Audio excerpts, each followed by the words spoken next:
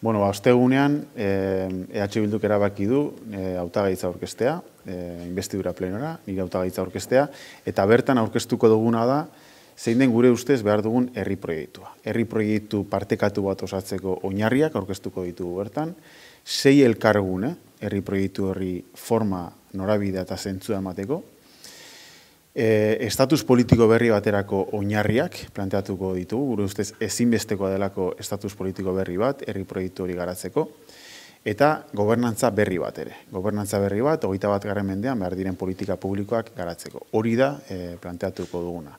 Eta horrekin, gure ustez, e, maigaina jartzen duguna da, momentu hontan behar dugun eraldaketa nazional berri baterako planteamentu bat. Eta hori da, ostegunean e, bertan, aurkeztuko duguna. Bueno, pues eh, como sabéis, EH Bildu decidió eh, presentar la candidatura, mi candidatura en este caso, en el pleno de investidura de este jueves. Y lo que vamos a presentar, y lo que voy a presentar yo en primera persona en ese pleno, es, eh, son las bases de lo que entendemos tiene que ser un proyecto de país compartido. vamos a plantear un suelo común para construir un proyecto de país compartido, seis espacios de encuentro que creemos sobre los cuales se pueden plantear retos de país compartidos. Vamos a plantear las bases para un nuevo estatus eh, político, porque entendemos que necesitamos otro estatus político para eh, desarrollar ese proyecto de país y eh, una nueva gobernanza necesaria para implementar las políticas públicas del siglo XXI. Esto es lo que vamos a presentar y con esto entendemos que lo que ponemos encima de la mesa es un planteamiento para acometer una nueva transformación nacional en un momento histórico en el que este país pues, tiene que dar un salto y afrontar los retos de futuro. Bueno, nosotros en todos los debates, en, este y en otros, no planteamos tanto líneas rojas como líneas verdes.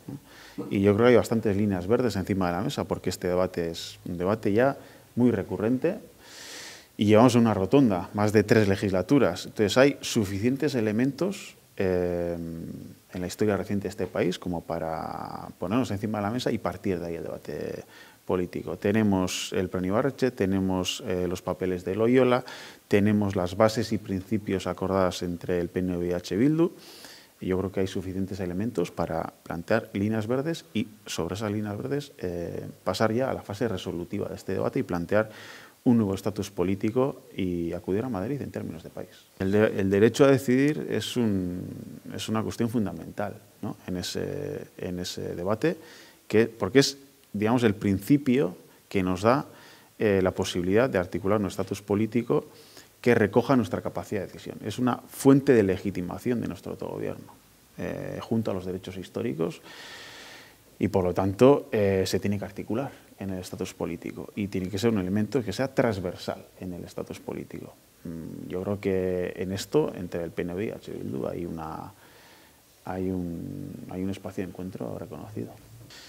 Bueno, había puntua, kontua da, ez da bai da politiko honen, e, había puntua zein den, ez da, había puntua gure ustez, bada, daukagula, autogobernu bat, e, erosinatua, e, e, kamustua, ba, azken urte luzetako, rezentralizazio prozesu baten ondorioz. Loa patik azten dena eta hausitegi konstituzionalen sententzien bidez garatu dena. Eta iritsi gara momentu ontara, autogobernu batekin, zeinaren kalitatea den e, oso zarantzazkoa. Eta beraz horrek, abia puntu horrek, eramaten gaitu, mai gaina jartzera, hiru herrialde hauek estatuarekin daukaten harreman eredua bera. Harreman eredua da, estatus politikoa da, e, inbarden ez da Eta beraz, behar dugu, autogobernuaren eztabaida bat ez dena soilik mugatzen e, kompetentzia kopurura, baizik eta hiru herrialde hauek estatuarekin daukaten harremanaren nolakotasuna e, abordatzen duen eztabaida bat era behar duguna. Nik uste dut tokatzen dela. E, Danamagulako denbora asko bueltaka, hiru legegintzalditan inigo urkuio aurkeztu da autoeskundetara promesa batekin, zen estatus politiko hori ba, onartuko zela parlamentuan, eta ondoren egongo zela e, referendum bat, e, estatus politikoaren inguruan, ez da posible izan, gaina badako testu inguru bat estatuan, non, ba, Espainiako gobernuak berak eh, esan duen hauzi e, territorialaren gaineko eztabaida egin egin bar dela, eta bestetik daukagu gerrekako estatutuaren egoera bera, ez? Eta planteatzen da, ba, ba, datozen hilabetetan, ba, etorriko dira, falta diren kompetentziak, baina hemen kontua ja ez da hori. Kontua da, autogobernu hau dagoela, dagoen egoeran. Ez? Eta iritsi dela goita bat mendera, guztiz debalotua, eta estrategikoki guztiz lastatua. Eta beraz, e, urgentea da ez da bai dau, eta gainera badau gehiengo abertzale bat, e, presidenteik ez daukana e, lehebitzar hortan. Ez? Beraz, orain izpada, noiz hori da galdera. Eta gure ustez, e, argita garbi, urrengo legintzaldi izan behar da, estatus politikoen ez da fase resolutibo batera emateko momentua. Ba, e, ez da presa, guk ez dago presarik, bai, gauzak ondo egin behar dira, eta dago legintzaldi bat aurretik. Beraz, bueno, e, borondatea baldin badago ontarako, eta nik ustut, eh, eztabaida hori eztabaida honi heltzeko eh, ba, predisposizioa eh, denok adierazi dugula. Bueno, ba, jar gaitezen ja, lanean, ba, ikustera, ba, nola abordatu eztabaida hau, zeintzu den denborak eta bar, ez? ez dugu e, fetxa bat jarri nahi, ez dugu, ez ditugu gauza prezipitatu nahi, edo e, egin daitezela gauza, egin behar bezala, eta hartu ezagun behar dugun denbora, baina hause da momentua. Bueno, los tiempos son los que son. Eh, y el contexto es el que es, en el Estado y entonces eh, este debate se tiene que abordar los siguientes meses y, años. En la primera parte de la legislatura, en el primer año de esta legislatura, eh, tiene que despegar este debate y ya se tiene que articular el procedimiento, hay que poner encima de, encima de la mesa los contenidos, etcétera, etcétera.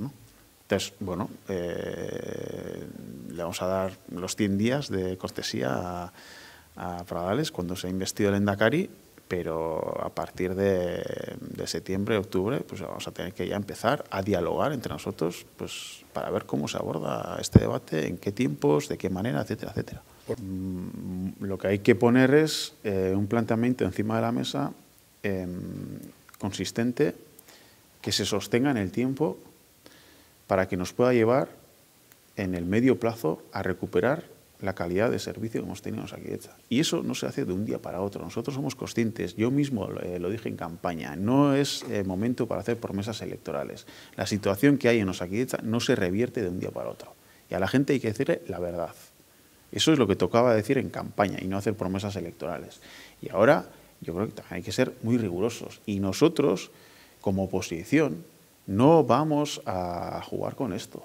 Lo que vamos a eh, exigirle al gobierno es em, responsabilidad, eh, un planteamiento, un plan estratégico eh, a la altura de las necesidades que tiene Osakidecha, que entendamos que es, que es suficiente para establecer las bases para en el medio plazo recuperar la calidad de servicio que teníamos en Osakidecha y a partir de ahí, bueno, pues habrá que fiscalizar ese trabajo. Pero teniendo en cuenta que la situación de Osakidecha no se revierte de un día para otro y lo que no podemos hacer, y nosotros no lo vamos a hacer, es eh, jugar con este tema.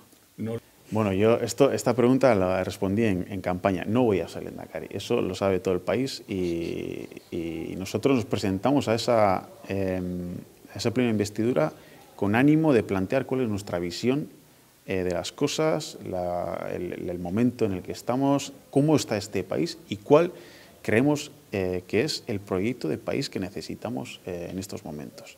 Con esa vocación vamos a, esa, a ese premio de investidura. Pero respondiendo a esa pregunta, si yo fuera el Endacari, en un caso hipotético, que no lo es, yo haría una cosa, una primera cosa, y es hacer un mapa de del talento que tiene este país, de dónde están las personas más capacitadas para ocupar las posiciones de responsabilidad en la Administración. Porque creo que tenemos un problema con el clientelismo en este país. Y en los últimos, eh, las últimas semanas hemos tenido una muestra también de ello. en las posiciones de gestión hay que poner a las y a los mejores profesionales que tiene este país. Y para eso hay que detectar dónde está ese talento. Y hay que hacer un mapa eh, de dónde está ese talento, más allá eh, de los espacios eh, cercanía de, los de determinados partidos políticos. Bai, zalantzari gabe. Zalantzari gabe. E, bueno, behar dugun gobernu gintzaen ezaguarritako bada, e, bukatu behar dela, em, azken urteetan erekiden bezeria sarearekin. Nik uste gure em, sistema instituzionalen gaitasunak ere lastatzen dituena. Eta behar dugu administrazioa gaitasun altukoa, eta horretarako aldaketa asko behar dira administrazioan, baina bitako bat bada, bezeria sare horiekin apurtu egin dela. Eta, eta horretarako, ba, bai, behar ditugu, personaik onenak, gaituenak, administrazioan, e, gestio arduretan, ba, benetan, e, ba, sektore publikoa bete ezan, bete behar duen e, rol aintzindari eta lidergo rolori datosen urtetan. Lo que esperaría sería que, que planteara su programa de gobierno hace una semana, por lo menos, para que yo pudiera eh, estudiar ese programa de gobierno con detenimiento y poder hacer el jueves un debate con él sobre ese programa de gobierno, que es lo que tocaba, porque ese pleno de investidura es un debate sobre un programa de gobierno donde él, como candidato, eh, intenta ganar la confianza de, eh, los grupos parlamentarios. Y eso difícilmente va a ser posible si ese programa de gobierno se conoce la víspera.